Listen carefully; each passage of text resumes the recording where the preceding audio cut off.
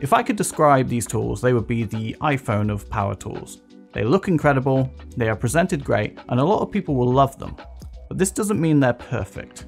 I recently rebuilt my gaming PC after a much needed upgrade, and I found that the precision screwdriver kit was great for settling screws in place, but I needed to use the 12 volt brushless drill to get a nice tight fit.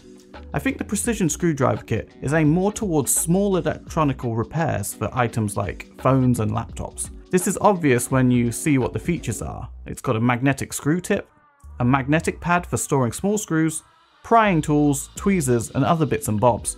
However, both sets come with plenty of accessories and these handy storage cases, which in the case of the precision screwdriver actually doubles up as its charging case.